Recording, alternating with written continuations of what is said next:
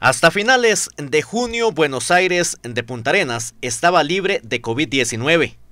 Fue el último cantón donde se registraron casos positivos en la región Brunca. Pero ¿qué pasó en esta zona?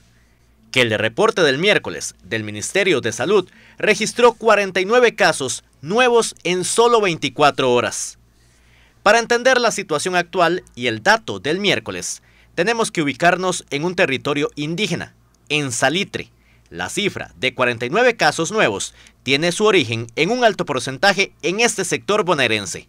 Tiene que ver especialmente con un trabajo que se está haciendo en el territorio indígena de Salitre.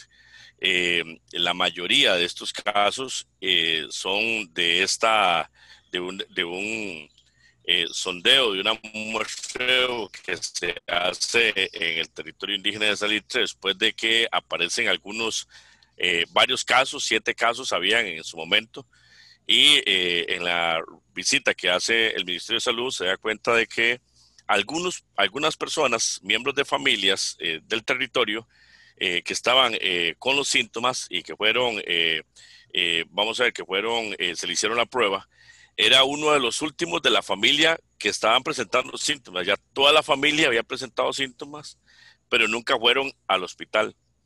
Entonces, el que, al que fueron a muestrear fue uno de los últimos de la familia. O sea, ya era el último que le daban los síntomas y, y tal así no, no, no había ido al hospital. Entonces, al no asistir a los centros médicos con, cuando se tenían eh, los síntomas, hizo de que la gente ande, eh, anduviera normalmente en las calles eh, visitando a los amigos, a los familiares y se diera un contagio muy grande en el, en el territorio indígena de Salir. La falta de acceso a información por las condiciones de esta zona también aparece dentro de las complicaciones que vive Buenos Aires con el COVID-19. Salitre tiene una situación especial y es el tema de la comunicación.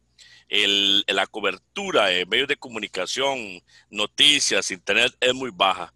Eh, la capacidad de tener eh, eh, teléfonos inteligentes también es muy baja. Entonces, si usted puede ver, observar, Talamanca está en una situación similar a la que le está pasando a Buenos Aires, especialmente con los territorios indígenas. Y es donde hemos ahondado muchísimo en la, en la necesidad de poder tener una buena eh, comunicación Internet. Pero el aumento considerable también tiene otra explicación, según el alcalde de Buenos Aires, y se resume en una palabra, desobediencia.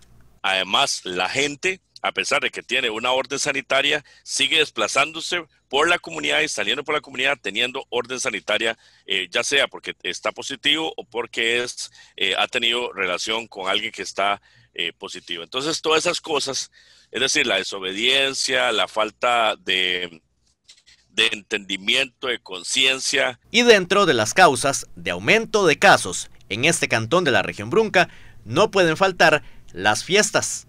Y, y, es muy preocupante porque efectivamente la mayoría de los contagios vienen de actividades, aglomeraciones. En una comunidad rural en Buenos Aires, en unos distritos, eh, eh, se dio una actividad, una fiesta ¿verdad? Hicieron una fiesta y vino gente de la Pérez el León, gente del sur, gente por todo lado. Y ahí eh, nació un foco muy grande de contagio también, eh, porque una de las personas que vino a la fiesta pues venía con el virus. Y no hay forma como la gente a veces no se entiende. Pero yo quiero seguir insistiendo. Eh, la decisión está en nosotros, nosotros podemos hacer el cambio pero hay que trabajar eh, eh, con mucha disciplina en el tema del uso de la mascarilla, el lavado de manos, eh, etcétera. El alcalde bonaerense fue claro, hay que trabajar en conjunto para contrarrestar el virus. Municipalidad hemos hecho una campaña muy grande con el tema de quédate en casa. Hemos, le hemos dicho, hemos insistido a la población, quédate en casa, use las mascarillas, hemos acuerpado al Ministerio de Salud, hemos acuerpado a la caja, a los diferentes eh, ministerios que hemos estado enfrentando este proceso. Pero también hemos visto cómo la gente, eh, de pronto más bien lejos de ayudarnos, lo que hace es atacarnos. Atacarnos eh, cuando nosotros lo que hemos buscado es que proteger nuestro cantón. Cuando tengamos los bares, cuando tengamos restaurantes, cuando tengamos panaderías, cuando tengamos todo cerrado en Buenos Aires, entonces la gente va a decir, wow, ¿qué pasó?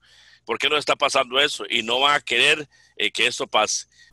Este viernes, la Municipalidad de Buenos Aires volverá a abrir sus puertas tras la desinfección que realizaron en sus instalaciones.